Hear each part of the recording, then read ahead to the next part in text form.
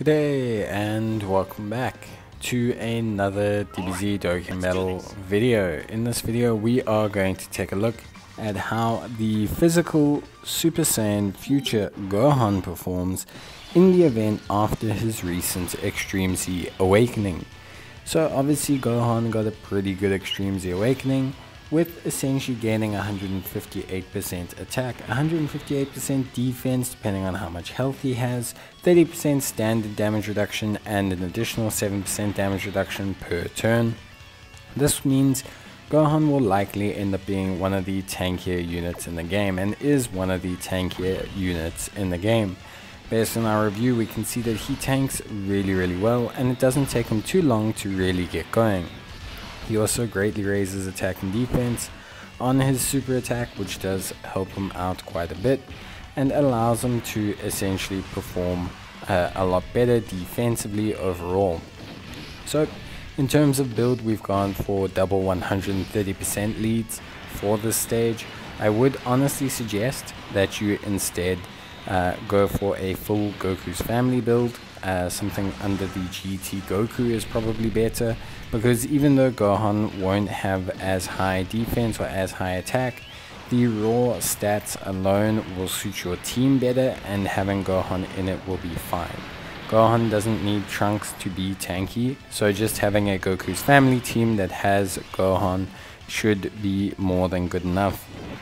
But for this current team build, we're going to pair him up with the Super Trunks and we're running them under double 130% physical Go Tanks lead. So that's the Super Saiyan 3 Gotenks. Overall, not really expecting this team to complete the event, but it's more to get a good idea of how Gohan performs with and without Trunks alongside him, and just how he does in general. But for the most part, I'm not really too concerned about Gohan. Uh, I think he'll be great overall. This is a 100% Gohan, which does make a difference, of course, uh, but because Gohan does mainly rely on damage reduction over his defense, especially if you don't have a Trunks, then for the most part, having just a 55% Gohan should work for you, but you won't see the exact same results you see here. But because he's heavily reliant on damage reduction, he should still be fine.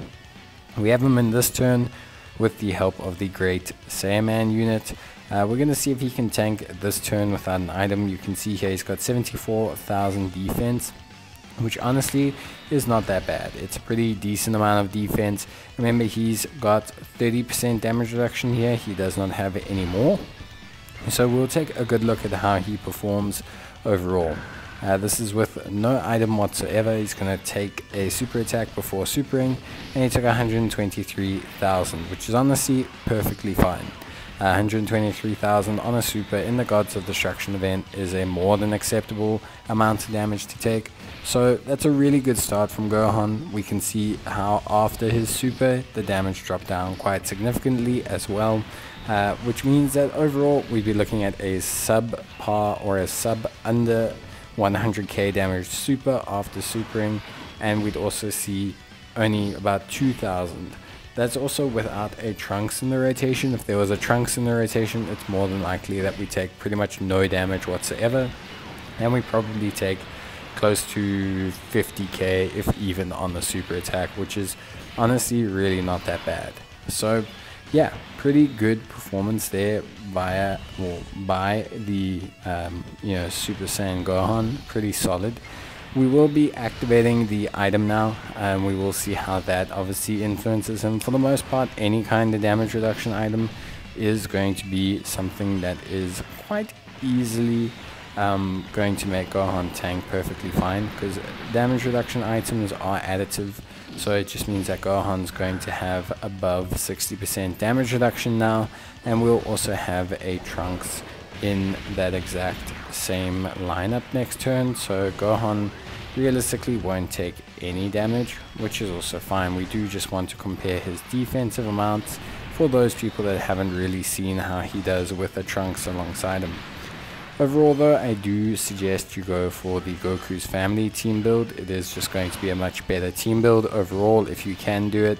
Otherwise you can possibly do it with a 130% team, you do just need to be careful and probably have quite a few dupes in the Gotenks. If we take a look here, his defense has shot up quite a bit. It's way beyond what it was before. So in this scenario, we pretty much shouldn't take damage if we are, especially with an item active, we shouldn't take damage if we are, you know, essentially going to take on uh, a super attack from this unit. We do have an additional 7% damage reduction uh, that was added in last turn, of course, or this turn I should say, with Gohan gaining that 7% every single turn. So pretty much a unit that's just not going to be able to take damage which is something that's super duper helpful obviously in general. Any unit that can come into the Gods of Destruction event and without much setup support or anything else can take you know pretty much double digits on normals and um, you know less than I'd say 150 on a super attack is pretty impressive. And it's a unit you can really really build on uh, which is something that obviously just helps everyone quite a bit because you know having that kind of wall tank unit is really, really good. But that's kind of going to be it for this video. We're not going to make it past this round, unfortunately. Um, we don't get any dodges with the Gotenks, so we don't really manage to get through the round. But for the most part, Gohan's looking really, really good. Uh, he's looking really, really solid. He's great in ESBR, we've seen him there. He's great in uh, the Gods of Destruction event. So realistically speaking, we've seen him in enough locations now where I think he's just, you know, doing a really, really good job. So I don't think there's that much more that we need to see from him as a unit. And I think his diversity is fine. Like I said, even without a Trunks uh, unit next to him the whole time, he's the kind of unit who will be more than fine. Like he's gonna be more than fine. He's gonna do more than fine, like as a unit. And so we don't really need to panic too much about it. We should be able to see a really, really good performance from him most of the time. Uh, and then we just get supered at here, which is kind of what kills us. Uh, and then we get a bit unlucky, but that's okay. So yeah, let me know what you guys think and let me know your thoughts down below. Let me know if you think he's a good unit or a bad unit. Have you used him in the Gods of Destruction events or have you used him in any events? And if you enjoyed the video, why don't you guys leave a like on it? But with that being said, I hope you enjoyed the video and I will see you guys in the next one. So until then, take care, stay safe, and as always, bye.